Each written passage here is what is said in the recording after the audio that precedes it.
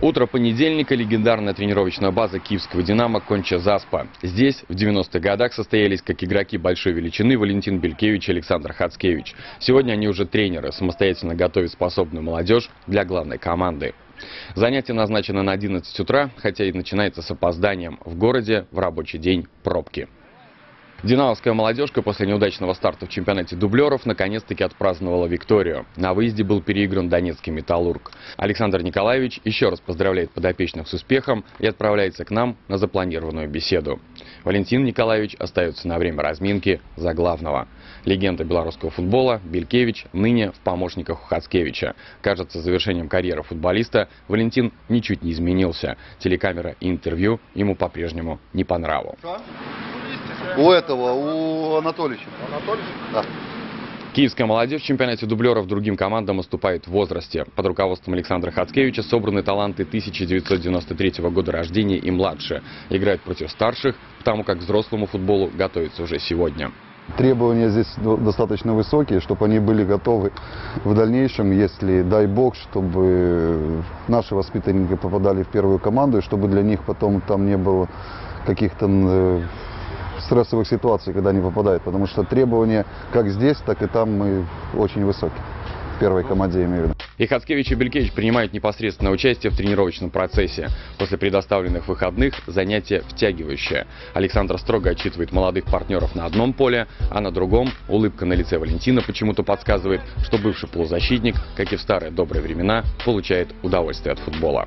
У нас два массажиста, два доктора, администратор, тренер по физо, тренер по технике, тренер с защитниками, тренер с полузащитниками. Вот. Так что здесь э, у нас Ва- Валентин отвечает за э, полузащиту.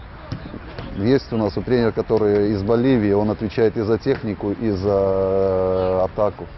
Я больше акцент делаю ну, за оборону еще. Так что здесь каждый занимается, говорится, все разделено на, по, по своим амплуа, но потом мы все это компонуем. И я думаю, что ребятам намного это интереснее, потому что каждый занимается своим делом. С учетом развитой клубной инфраструктуры в Украине, тема молодежных сборных всплывает сама собой. Георгий Кондратьев привел белорусов к медалям на недавнем Евро, а наши южные соседи в то же время даже не вышли из группы. Видать, дело не только в условиях подготовки. Сами ребята через прессу поверили, что они едут туда выигрывать. А не, не игрой добиваться этого, а уже е- ехавшие туда, они уже были уверены, по именам достаточно сильная команда, потому что многие уже и привлекаются в национальную сборную ребята. Вот. Э, Но белорусы, говорится, молча, но спокойно, где-то на фарте, где-то на каком-то э, морально-волевых качествах. И в итоге все это вылилось в результат. Так что это еще раз подтверждает, что все-таки нужно сначала ехать и играть, а потом разговаривать и рассказывать, э, куда мы едем и что мы должны там выиграть или не выиграть. Александр Хацкевич возглавил молодежку «Динамо» в декабре минувшего года. Сначала совмещал с работой украинской национальной сборной, но после ухода Мирона Маркевича и Юрия Калитвинцева сосредоточился на делах клубных. Говорит, что год сборной принес только положительные эмоции. А мы задаемся вопросом, когда белорусская команда подарит болельщикам настоящий праздник. На кону нынче два определяющих матча против сборной Боснии и Герцеговины. Все должны быть э, одной идеей э, объединены. Потому что вот когда мы приехали с Валентином в 96 году э, на Украину, в каждом городе в центральной улице висели бигборды, что вот наша мета там попасть на чемпионат Европы там такого-то года. Не попали, висит на следующий. Вот наша мета там попасть. Вся страна этим объединена.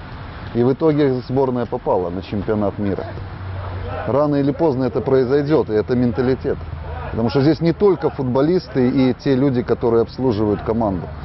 Федерация, там, доктора, массажисты. Тут вся страна должна, это, это, это национальная сборная.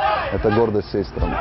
Известный в прошлом полузащитник сборной Беларуси признается при этом, что почти не видел матчей дружины Бернда Штанге в нынешнем Евроотборе. И за событиями в отечественном футболе также следит невнимательно, но проблемы обозначает четко, потому что они вечные.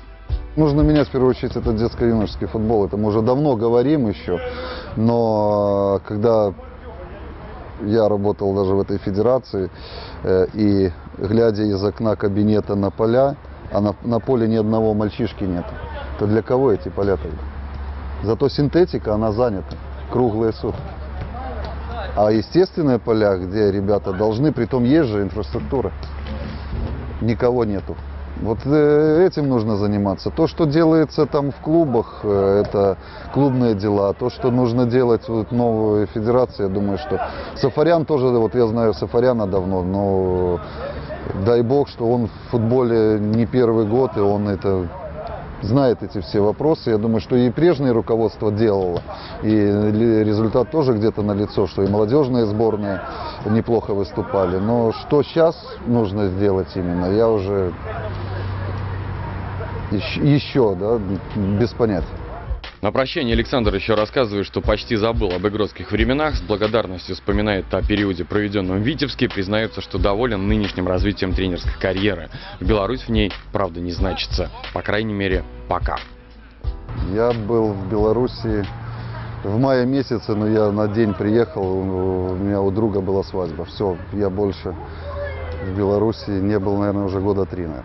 Здесь я живу, и здесь моя семья. Там у меня родители, мы с ними общаемся, но большого желания вернуться пока нет.